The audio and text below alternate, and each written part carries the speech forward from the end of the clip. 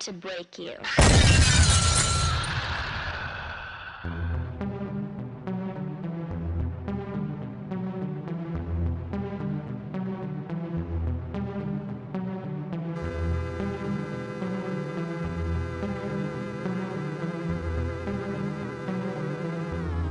Ha ha ha!